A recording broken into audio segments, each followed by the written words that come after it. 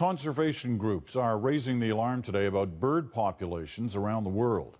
And a new report suggests some Canadian species are in danger of disappearing. The CBC's Margo McDiarmid headed out to find out why and what's being done to protect them. It's early morning in the wetland. The birders are already up. Yeah, that's a palm warbler in the in the larch tree right here. For this group of international bird experts, the outing is a treat. If I go to a different country and I find the birds, I have a sort of I feel that I know the country. So. Bird watching is one of the most popular outdoor activities in Canada, but there are fewer birds to see now than even 40 years ago. Birds in Canada and around the world are declining. A new report by the world's largest partnership of conservation groups says birds are under intense threat. One out of every eight species is heading towards extinction. The main reasons? Factory farms are destroying their habitat.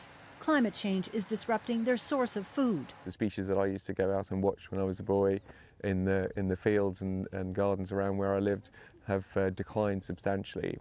Canadian birds are also disappearing. 70 species are now threatened. Even common ones like barn swallows and chimney swifts, birds that eat insects, have dropped by 80%. Experts say it's a sign of changes in the environment. The birds are sort of the, the canary in the coal mine. They're, they're the flag that's telling us that there's an issue.